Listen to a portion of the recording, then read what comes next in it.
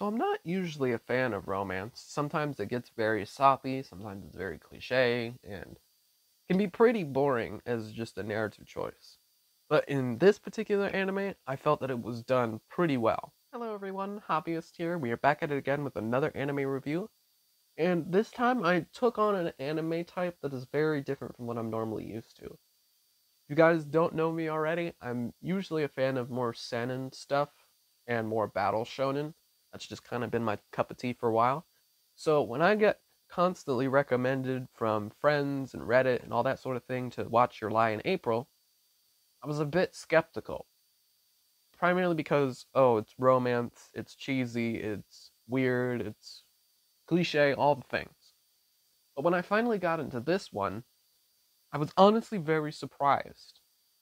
Just because the relationship building that happened inside of this short anime spoke volumes for me. Kousei is a character who has been through a lot. He's a piano prodigy. He's done all of these amazing things inside the world of classical music in his realm. But there's this trauma and this baggage that's behind him to where he struggles to hear music because of the trauma that he's been through with the abuse from his mother and how he associates the piano with her and everything that she's done, and the guilt that he has from wishing her dead, and when she actually did die, not being able to apologize, say sorry, or anything like that, and get that closure. So, Kousei's story really follows finding Kaori, who is the one who provides this new outlook on music. That music doesn't have to be robotic, and two, the score one for one how you can create your variations, you can express yourself in your music, you can find the sound that resonates the most with you, find the technique that makes your style your own.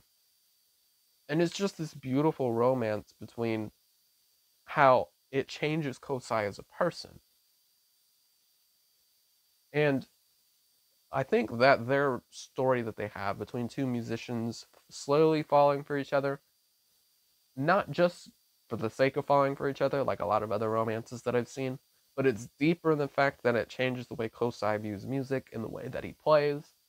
And I think that just the musical score inside of this show is absolutely fantastic as well. I think when you get hit with the music and as you feel the music change with Kousei as his arc plays on, you there's just this feeling that you can get that it's really hard to describe. Cuz me personally, I've always been a believer in the power of music. I believe that music can resonate with you on an emotional scale that no other words can possibly do to you. I think that music is the one of the best ways of self-expression, one of the best therapies that you can possibly have, whether it be you as an artist or just listening to music, kind of just being off in your own headspace. I really resonated with that a lot. And just understanding the feeling that these characters inside of the show get when it comes to music. My biggest problem that I have with the show, however, it's kind of always been the love triangle angle that they went with, with Tsubaki being the childhood friend romance angle. Not to say that the childhood friend can't be the it can't be a good romance story, but it's a constantly tried upon trope, and especially when they started going into the love triangle cliche, that's kind of where I wasn't really a big fan of it. Because, to be honest, Tsubaki, when it comes to just the relationship between her and Kousei, was never really expounded upon until you got close to the end of the show. I mean, you got hints that they were childhood friends, but it was nothing romantic or anything like that to where you felt a need to have tension between Kousei as far as who he picks, if he picks Kaori or if he picks Tsubaki. Because Tsubaki has been characterized as that she's this athlete who isn't very smart.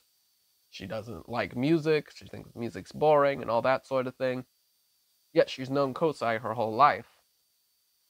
But the problem with it is, at least when it comes to me with love triangles, is that there's not very many good love triangles that exist to me, a good love triangle always has to be where both sides that are wanting that one person are pulling at the strings emotionally from two different angles. One of the best examples that I had of this was actually in superhero comics with the X Men, particularly the love triangle that's infamously known between Cyclops, Jean Grey, and Wolverine. But I think that the narratively, they have a better love triangle than most any other love triangles in romance, period. Even though it's mostly revolves around superheroes. And here's why. Taking into account Cyclops and Jean Grey, if you're going for that ship more, then you're more inclined to like them because Cyclops and Jean Grey have been X Men since day one. If you've read back to the 1960s X Men, Cyclops and Jean are in that first class of X Men. And just knowing their backstories makes them completely different in why you would gravitate towards the relationship. Cyclops has literally been an X Men since day one. He was the first student that Xavier took on. He has this backstory with his brother and the trauma and the fact that he can't control his powers. Even all the way to this day, he still can't control his powers. He has to be this tough leader that everyone counts upon.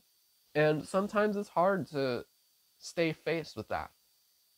Especially since with Cyclops' backstory, it's literally he had to jump, jump out of a plane with his brother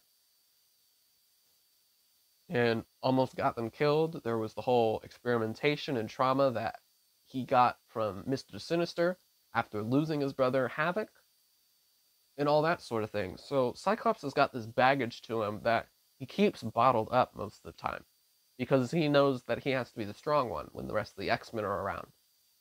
And Jean can kind of see that in Scott.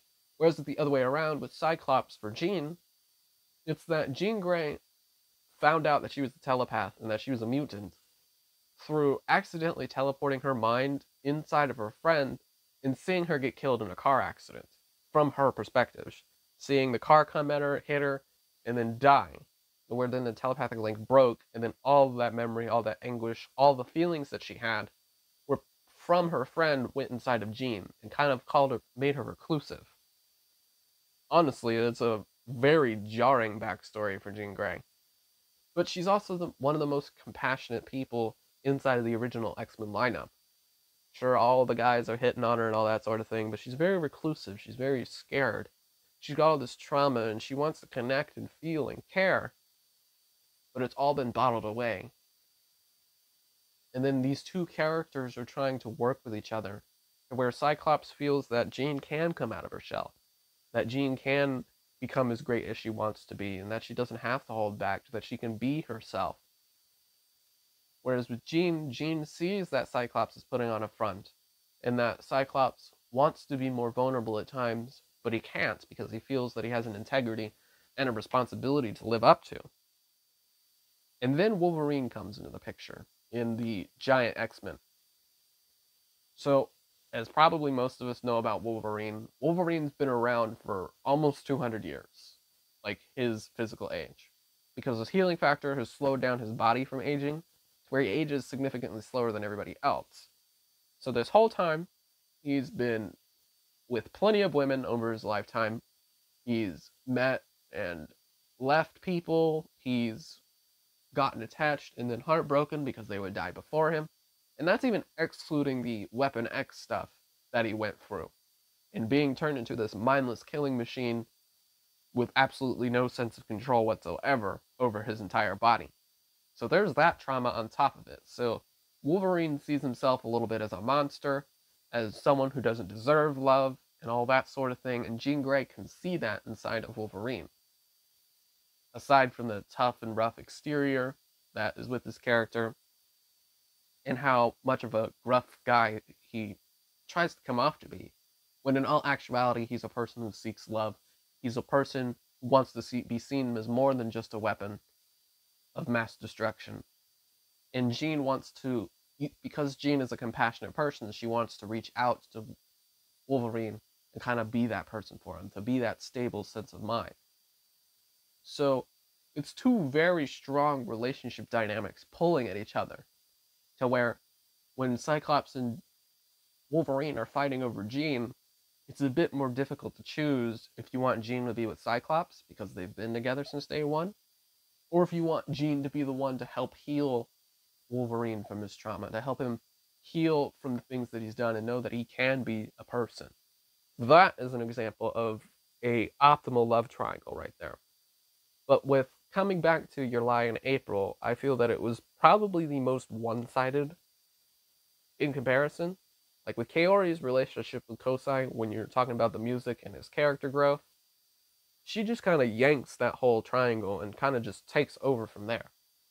And it isn't only until she tragically passes away that things sort of shift a little bit. But honestly, that's been my whole peeve when it comes to Your Lies in April, is that love triangles need to be built on both sides, and not just with one story focusing over the other, in order for the tension and the emotions to be felt from both ends. But honestly, that's my only peeve that I've got against this, and what knocked it down a little bit a little bit for me from being as great as I thought it could be. But let me know down in the comments below. Do you guys agree with my thought process? Do you guys disagree? Make sure to hit that subscribe button as well and to hit that notification bell because I'll keep posting various sorts of anime content. I've got board game content. I've got video game content as well. I'm trying out a whole bunch of different things. But otherwise, I thank you guys so much for watching, and I'll see you guys in the next video.